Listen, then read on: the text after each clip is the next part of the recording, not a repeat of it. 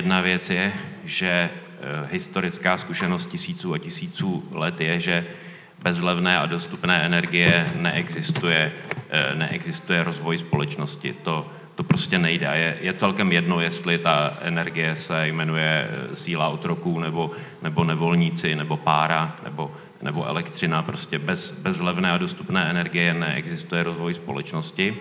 Druhá, druhá moje poznámka je, elektřina nejde skladovat. Je to úplně jiný zvíře, než, než je ropa, plyn, benzín nebo cokoliv dalšího. On o tom mluvil už pan Kučera. Prostě v každém okamžiku musíte být schopni vyrobit tolik, tolik, kolik spotřebujete. Teď, teď pomíjím nějaký přešerpávačky nebo nějaký baterky, protože to jsou, to jsou drobné zlomky procent z toho, z toho objemu, kterým možná vyrovnáte nějaký, nějaký minutový výkyvy, ale, ale tak jako si můžete vytvořit zásoby ropy nebo, nebo plynu nebo vody na měsíce, tak, tak u elektřiny je to možná o vteřinách, možná o, o minutách.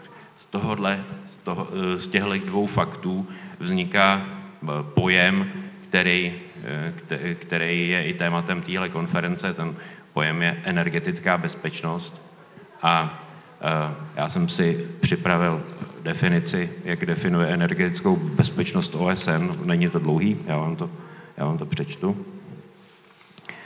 OSN definuje energetickou bezpečnost jako dostupnost elektrické energie v dostatečném množství, včas a za přijatelnou cenu. A řekl bych, k tomuhle přidala Evropská, Evropská unie nebo Evropa ještě, ještě dopad na životní prostředí. A tady ty, tady ty čtyři parametry tvoří naprosto zásadní paradigma toho, toho, v čem se pohybujeme při vědomí si toho, že prostě bez, bez levné, dostupné a, a v dostatečném množství existující elektřiny nemůžeme být. Já to vnímám až tak, že když jsem zaznamenával tu diskuzi, jestli je, jestli je elektřina zboží nebo jestli je statek, veřejný statek, tak já si osobně myslím, že dneska je nejblíž k tomu, že elektřina je lidský právo. Mně se zdá, že, že význam elektřiny je asi takový jako význam vzduchu nebo vody. Prostě bez, bez elektřiny moderní společnost nemůže existovat. Ale, ale zpátky k tomu.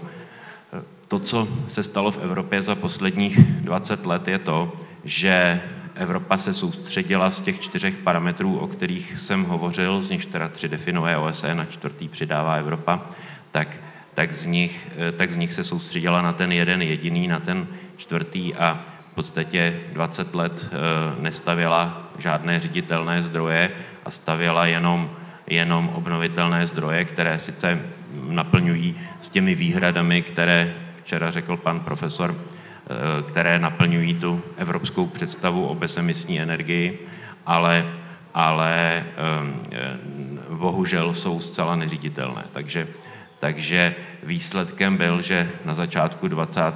20. Eh, let se vyfoukl ten polštář těch ředitelných elektráren, který jsme v Evropě měli a Evropa začala být mimořádně zranitelná v situacích, kdy se skombinuje více faktorů právě protože ta elektřina není skladovatelná, tak v situaci, kdy se skombinuje více nepříznivých faktorů a, a, a začne jí být nedostatek. A do toho, do toho přišla ta ruská válka a, a ceny elektřiny vyskočily tam kam, tam, kam jsme je zaznamenávali v loni. Pak, pak jsme měli teda štěstí a, a ta zima byla mírná a, a zdá se, že teda členský státy nebo Evropa, evropské země nějak zareagovaly a, a že, se, že snad to vypadá, že jsme z nejhoršího venku, ale, ale ten, ten reálný problém toho, že, že jsme prostě ty, ty staré zdroje zrušili nebo je rušíme, v každém případě zestárli a a ty nové nestavíme, tak, tak ten problém nás staví do, do mimořádně obtížné situace.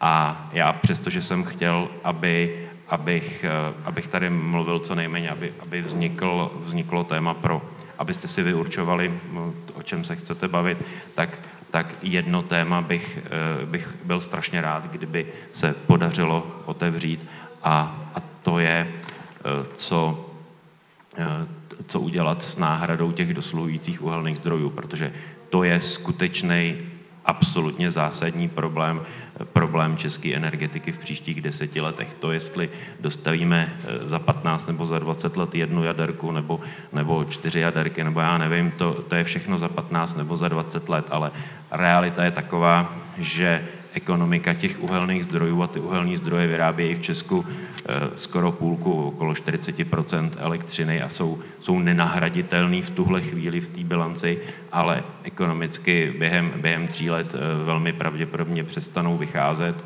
tak, tak eh, a, a za tři roky se v, v energetice nic nepostaví, aspoň nic, nic teda z velkých ředitelných strojů.